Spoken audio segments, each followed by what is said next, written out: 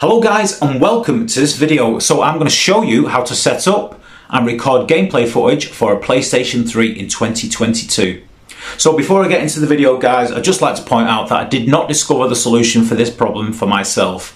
I'd simply watched what others had done by watching videos on YouTube, but I wanted to build on that for a more up-to-date audience. So the most critical piece of equipment that you're going to need to achieve this is this little box here. Now I purchased this off Amazon. This is called a HDMI splitter. So get a little bit closer to the camera. As you can see, this has three HDMI ports. The first one being the HDMI in. This little hole here is for the power supply.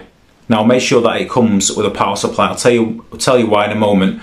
And there are two HDMI outs there.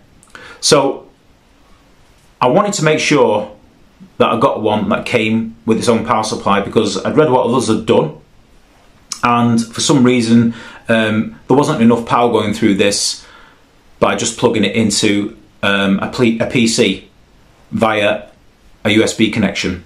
So I made sure that I got one with its own power supply. Now there are many on um, there, are, there are many available on Amazon and you've got to be careful which one you buy because a lot of them do say cannot bypass HDCP. So, without further ado, this is how you set it up. Okay guys, so here is all the equipment laid out on the floor. Now I think that this is the easiest way, it's certainly the most tidiest way for me to show you. I could show you it all hooked up, but then it will be a mess of cables, so I will show you it hooked up once I finish this part of the video. So let's go over the equipment. So here is our PlayStation 3. Next is our capture card to capture the gameplay footage. So this is the Elgato HD60S Plus capture card. Now these things are not cheap. This was about 170 to 180 pounds, which I also purchased off Amazon. Also, I'm going to need a laptop or a tower. And lastly, three that's three HDMI cables. Okay, so the first HDMI cable wants to go into the back of your PlayStation 3 and the other end wants to go into the import of the HDMI splitter. Here is the power supply for my HDMI splitter. So we'll go over that again. First HDMI cable into the back of your PlayStation 3, the other end of that cable into the import of the HDMI splitter. Your second HDMI cable wants to go into one of the outputs on the HDMI splitter. The other end of the same cable wants to go into the import of your capture card. This cable here, this is so this will function. This goes into your laptop and there it is. It's a USB. So that should that one of these should be with your your capture card. Your third HDMI cable wants to go into the output of the capture card. Here is the other end of that cable. Now this wants to go into the back of your TV. So go through that again. The first cable, your HDMI cable wants to go into the back of your PlayStation 3. The same cable wants to go into the import of the HDMI splitter. Your second cable into one of the outputs of the HDMI splitter. The other end of that cable goes into the import of your capture card.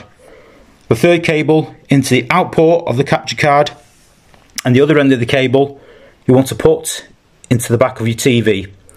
Obviously make sure that your TV will take a HDMI cable. Okay guys, so that's all the equipment that you're going to need. Now let's show you it hooked up. Okay guys, so now I have everything set up. So I'm going to run through things just once more. So here's the PlayStation 3. You're going to need three HDMI cables. The first HDMI cable is in the back of the PlayStation 3. The other end to that goes into your splitter just here into the import. As you can see the light is on the power cable inserted. So your second HDMI cable goes in one of the two out ports. The other end of that cable then goes in to your capture card, which is here, into the import. The third HDMI cable goes into the out port. The other end to this cable goes into the TV.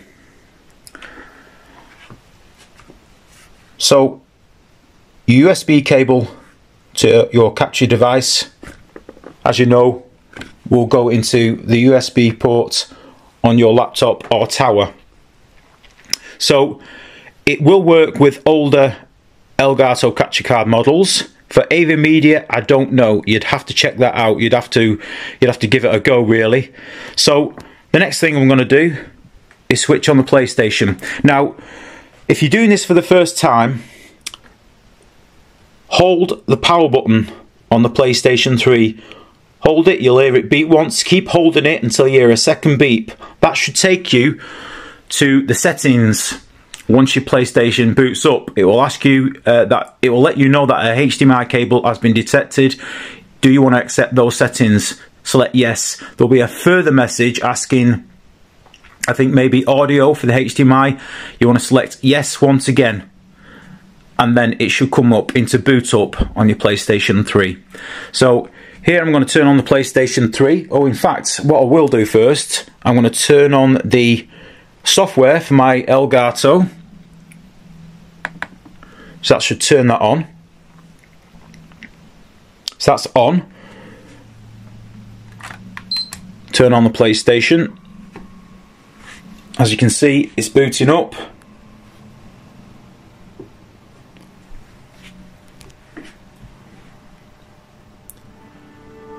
and as you can see it's coming on on the TV and also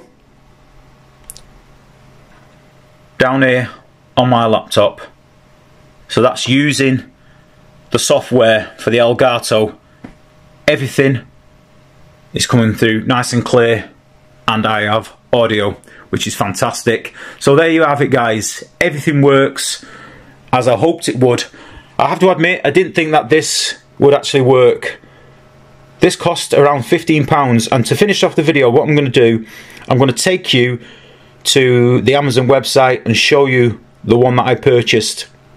So maybe you guys, anyone that wanted to try and do this could follow this video.